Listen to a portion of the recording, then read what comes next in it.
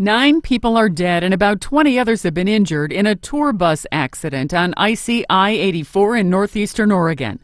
Police say the tour bus was carrying about 40 people and went out of control. The bus went through a guardrail and then plunged uh, a few hundred feet down a steep, snowy embankment before coming to rest.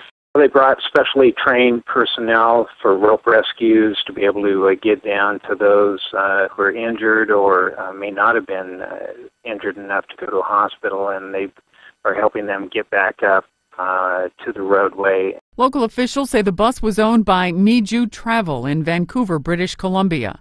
State police say the bus was heading to Vancouver from Las Vegas. Sandy Kozel, The Associated Press.